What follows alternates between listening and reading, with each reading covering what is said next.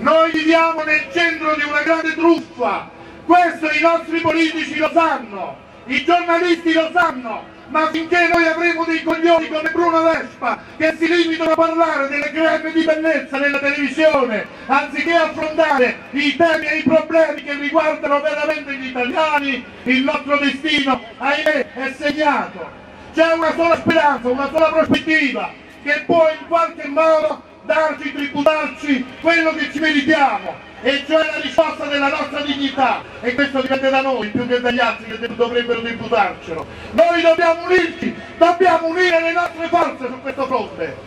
Abbiamo creato alcuni di noi si sono attivati anche in rete abbiamo creato il movimento 16G 16 giugno appunto oggi.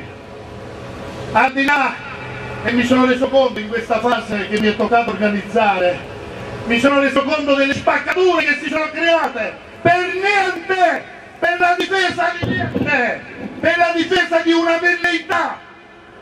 È andata a buttare il rapporto umano addirittura, con uomini che invece dovevano avere le palle sotto ed essere qua tutti insieme uniti oggi, perché è stato prodotto uno sforzo notevole per stare qua.